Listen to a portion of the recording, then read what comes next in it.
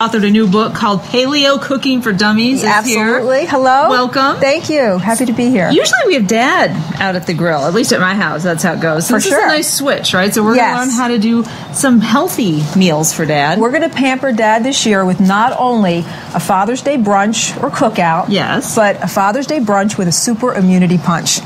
yeah, now let's just tell everybody what is paleo? What's the paleo diet? Sure. Because that has become very trendy lately. It has.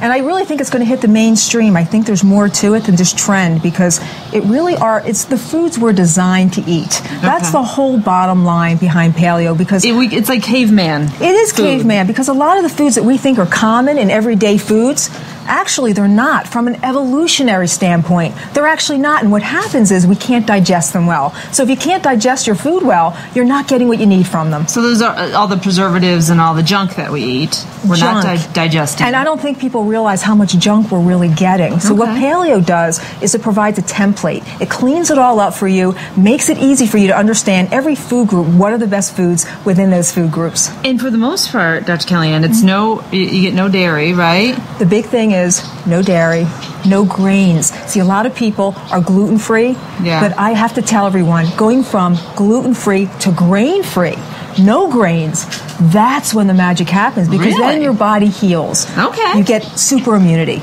Okay, sounds good to me. Yeah. All right, let's get to cooking. Okay.